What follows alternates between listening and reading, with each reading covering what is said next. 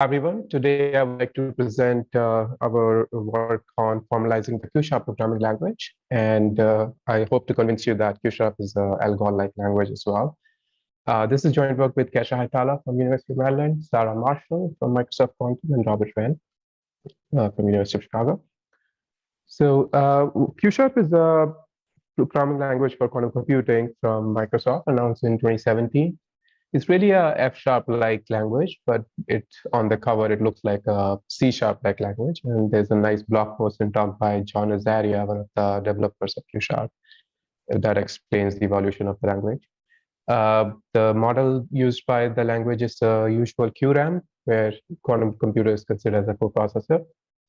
And then it has several interesting Algol-like features, which are uh, very nice as a programming language is personal to me. So it clearly separates between classical functions uh, and uh, quantum operations in the syntax of the language. Then the, all the computation on the quantum machine is done by side effects. So effectively, the quantum operations that we see in the language are monadic sequence of instructions, and our work kind of exposes that, which I'll show you. Other nice features are that most things are immutable by default in the language, and there are features for metaprogramming, such as you can automatically generate adjoint and control versions of the operations. So here's a sample program in tel to in Q Sharp to show teleportation. So I'll not go through all the details, but a couple things to highlight are uh, that Q Sharp is uh, parametric on the gate set. So even to use the basic gates, we have to import a library. Uh, the other thing to notice is that, uh, like I mentioned, the computations by side effects. So in this entangle function, the two qubits for Alice and Bob are passed, and we are just applying operations on them. Notice that there is no qubit being returned. Uh, this is the monadic interface in play here. There's no linearity involved. So qubits are passed by reference. You perform you know, computation in place and the trivial unit.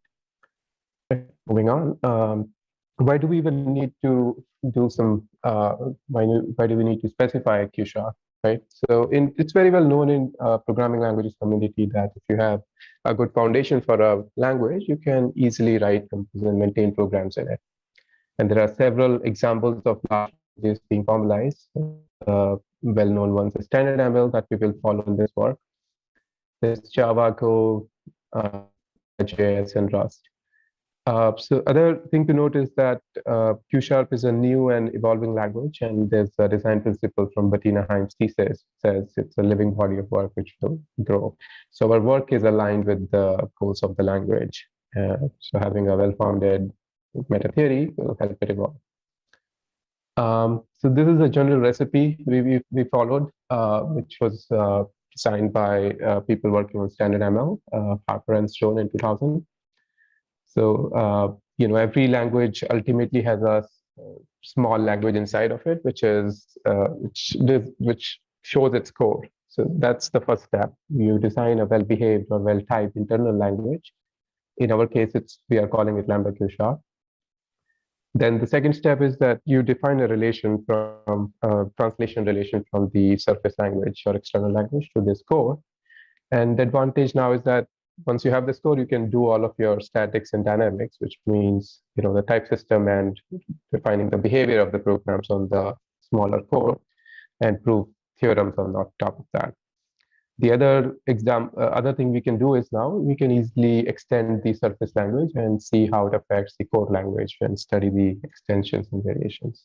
So to motivate that in our work, uh, here are a couple programs in Q Sharp which are invalid and should not be allowed by the compiler.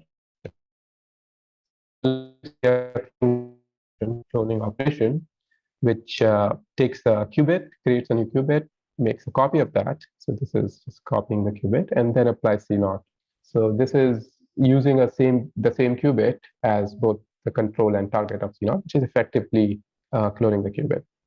Uh, but it currently passes the Q-sharp type checker and fails at runtime in the simulator. Um, similarly, on the right, you see a, a function which creates a qubit and immediately returns the rest to it. So this also be disallowed because Q-sharp has this lexical scoping of uh, lifetimes of qubits. So wherever they are created, they are discarded in the same lexical scope. But this is again allowed by the language currently, should be which should be invalid. So in our work, we we are able to uh, solve these problems, and I'll show you how. So here is uh, lambda q sharp, uh, our core calculus, and I will go through the grammar of types and expressions and commands. So uh, the types are pretty simple. There are function types, there are product types, booleans, units, and there's one for commands because this is a monadic language. The most important type here is the qref type, which is indexed. It, it, is a qubit reference type to model qubits in Q-sharp. Uh, the important thing is it is indexed by these orange colored symbols Q, which represent a single logical qubit. And we are able to statically track identities of these qubits. This notion comes from something called alias types back in 2000. And the idea goes even further on something called singleton types. Um, moving on to expressions, I'll not go through these details, but this is the usual simply typed lambda calculus with uh, encapsulated commands. Uh, so we our lambda Q sharp language is built upon uh, Harper's language modernized Algol from his book. Um, so this is very simple. Uh, now is the more interesting part, uh, commands. So we have the monadic return and bind as usual.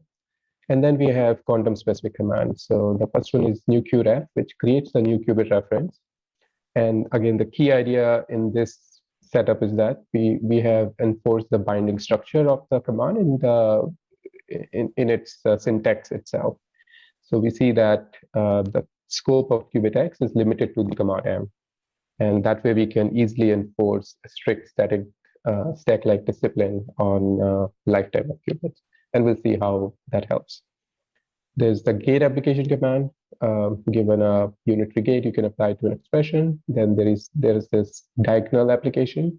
This is a interesting uh, syntactic sugar, which it's used for modeling controlled gates, where the you know the first E1 is representing a control and E2 represents the target qubits. And if the control is zero, you apply the first unitary. If it's one, then you apply the second unitary. And that's the usual measurement.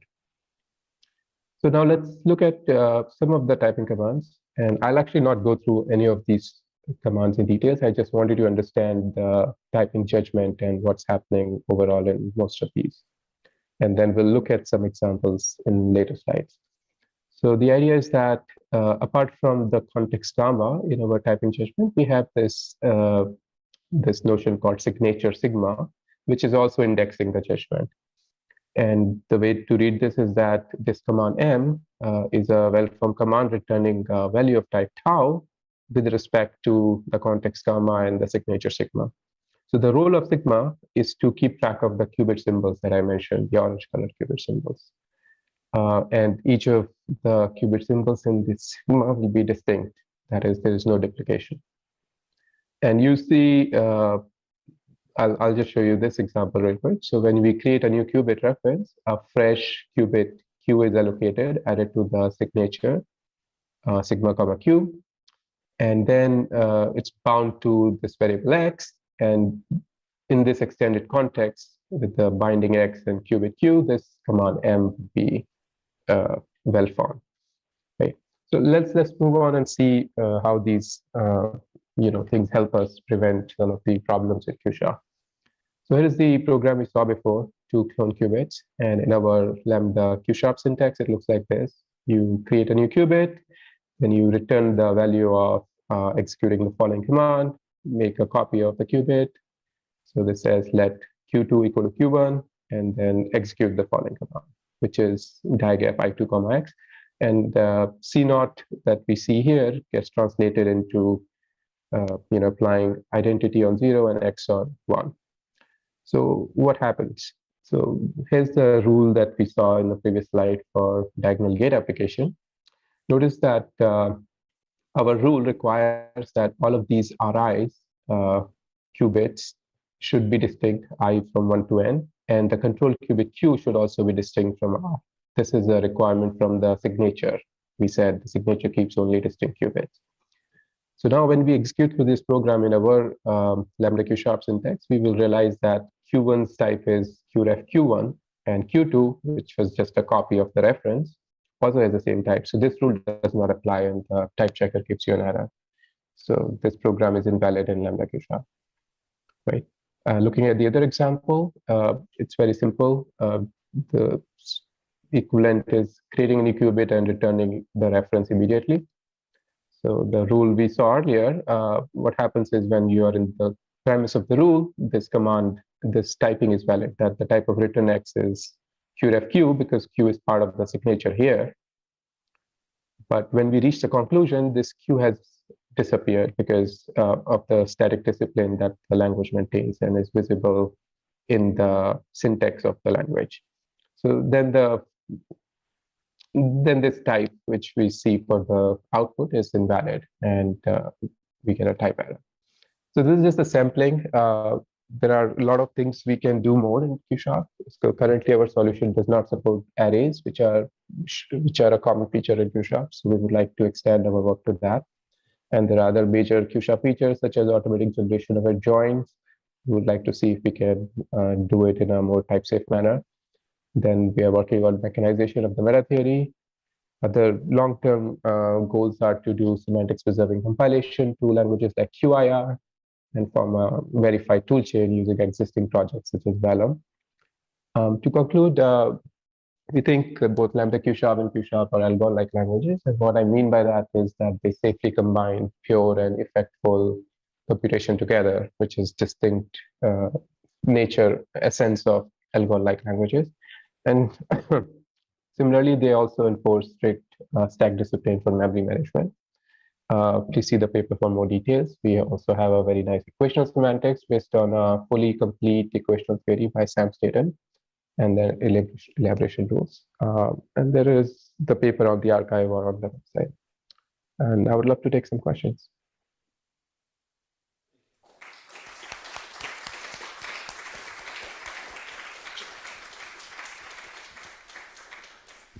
And we have some time for one or two questions.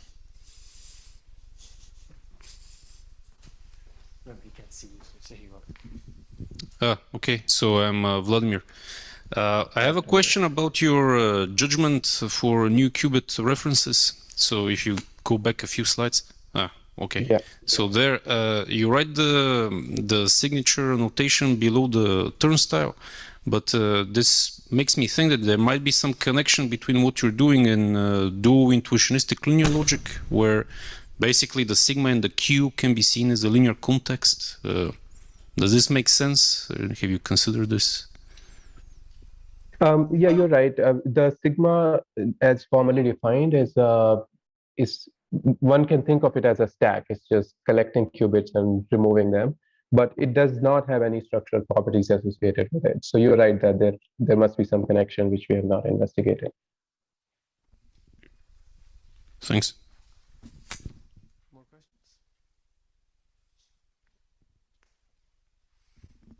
Hi, hi Kartik, Robin Sales. Um, so you mentioned uh, adjoints. So do you support adjoints? Uh, not right now. That's our future work. Okay, so what would it take for you to support adjoints? Do you have any? Uh, well, idea? there are yes, yes. Uh, so there are a couple of issues with Q sharps adjoints. Uh, so it's easy to support the easiest version where they have you know you only have unitary operations in a sequential manner in the operation in a given operation, but QSharp claims to support adjoints in some other more interesting cases as well, such as when measurement is involved or classical computation is involved. So that requires a little more careful work, which we are yet to do, but that's certainly planned in future. Okay, thanks. And I think we can do one more.